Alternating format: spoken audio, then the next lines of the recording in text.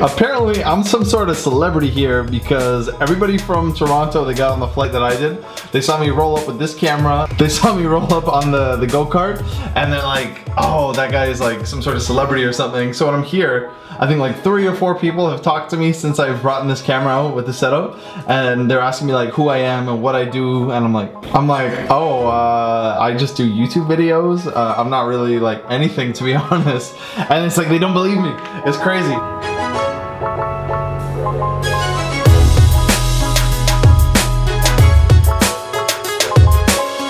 So it's about 6.30 a.m. Um, I woke up at 5. Uh, I slept for like 12 hours.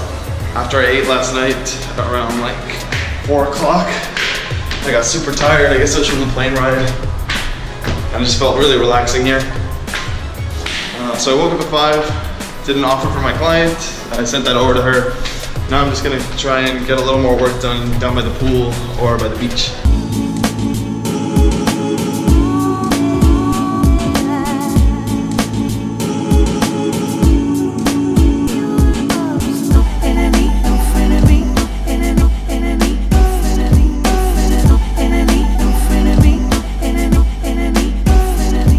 I just heard back from the agent uh, for the offer I just did, and apparently there's some legal trouble with the building, so I'm gonna try and find my mom to get her advice on it, and then I gotta call the lawyer and my client. But first, I gotta find my mom on this resort. This place is huge. Uh, I think she's by the pool though.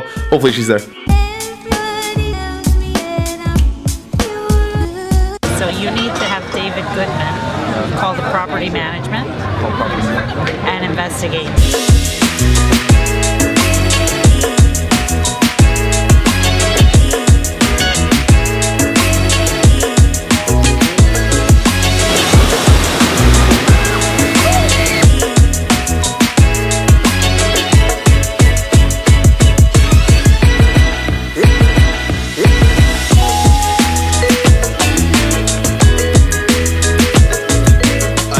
Back from the lawyer, and he said do not touch that condo with a 10 foot pole.